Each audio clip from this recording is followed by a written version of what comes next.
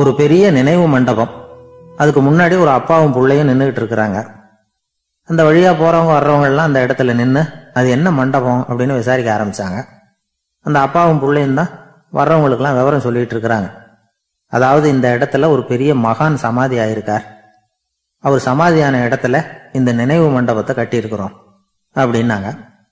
ஊரு பூரா இந்த செய்தி பரவிச்சு நிறைய பேர் அந்த இடத்தை தேடி வர ஆரம்பிச்சாங்க. இங்கே வந்து கொஞ்சம் நேரம் உட்காந்துட்டு போனால் மனசுக்கு ஒரு நிம்மதி கிடைக்கிது அப்படின்னாங்க. அங்கே இருந்த உண்டியல்ல நிறைய காசு போட்டுட்டு போகிறாங்க பணம் கிடுகிடுன்னு நிறைய சேர ஆரம்பிச்சிட்டுது. பணம் நிறைய சேர்ந்த உடனே அந்த அப்பாவுக்கும் பிள்ளைக்கும் தகராறு வந்துட்டுது.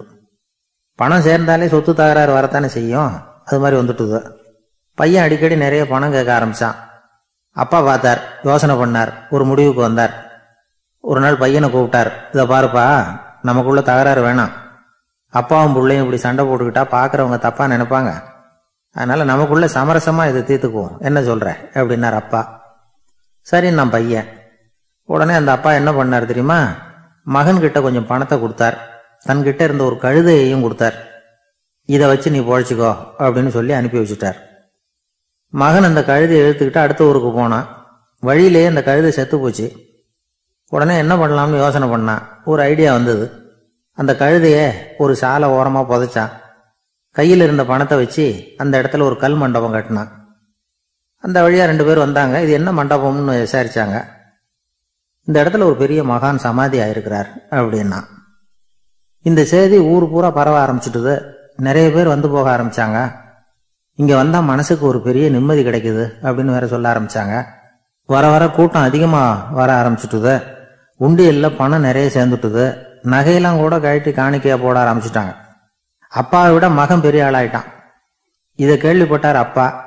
பையனை பார்த்துட்டு வரலாம்னு ஒரு நாள் புறப்பட்டு வந்தார். பையன் ஓஹோன்னு இருக்கிறான். பங்களா காரு எல்லாம் வந்துட்டுது. எப்படிடா இந்த அளவுக்கு ஆனே அப்படின்னு விசாரிச்சார். அப்பா எல்லாம் உங்க ஆசீர்வாதம் தான். நீங்க கொடுத்த மூலதனத்தை வச்சு தான் இவ்வளவும் சம்பாதிச்சேன் அப்படின்னா பையன். அது எப்படிடான்னு விசாரிச்சார். அப்பா நீங்க ஒரு கழுத குட்டியும் கொஞ்சம் பணமும் என்கிட்ட கொடுத்து அனுப்பி வச்சுங்க. அதை எடுத்துக்கிட்டு வந்தேன். வர்ற வழியில் அந்த கழுதை செத்து போச்சு. உடனே யோசனை பண்ணேன். அந்த கழுதையை இந்த இடத்துல புதைச்சேன். கையில் இருந்த பணத்தை வச்சு மண்டபம் கட்டினேன். மகான் ஒருத்தர் சமாதி ஆயிருக்கார் அப்படின்னு வதந்தியை கிளப்பி விட்டேன். ஜனங்கள்லாம் ஏமாந்து போய் காசை கொண்டாந்து போட ஆரம்பிச்சிட்டாங்க. நான் பொழைச்சிக்கிட்டு இருக்கிறேன் அப்படின்னா. இப்போதான்டா நீ என் புள்ள அப்படின்னு சொல்லி சந்தோஷப்பட்டாரான் அந்த அப்பா. ஏன் அப்படி சொல்றீங்கன்னு கேட்டிருக்கான் பையன். கழுத குட்டியை புதைச்சி மண்டபம் கட்டியிருக்கிற நீ. ஏற்கனவே நம்ம ஊர்ல நாம கட்டியிருக்கிறோமே மண்டபம். அது இந்த கழுதையோட அம்மாவை புதைச்ச இடம். மகான் சமாதி ஆயிருக்காருன்னு நானும் சும்மா கப்சா தான் விட்டுக்கிட்டு இருக்கேன் அப்படின்னாராம் அப்பா. முட்டாள் ஜனங்களை நினைச்சு அந்த ரெண்டு பேரும் சத்தம் போட்டு சிரிச்சாங்களாம்.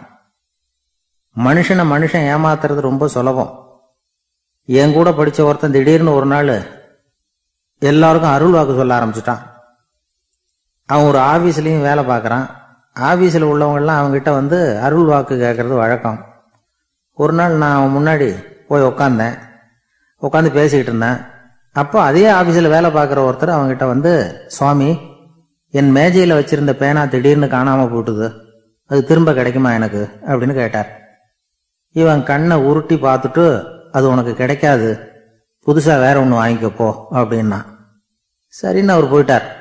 அவர் போனதுக்கப்புறம் நான் மெதுவாக இவனை பார்த்து அது எப்படிடா அது? அது உனக்கு கிடைக்காதுன்னு அவ்வளோ உறுதியாக அவர்கிட்ட சொன்னேன் அப்படின்னு கேட்டேன். இவன் மெதுவாக என் காதுகிட்ட வந்து அந்த பேனாவை கிளப்புனதே நான் தான் அப்படிங்கிறான்.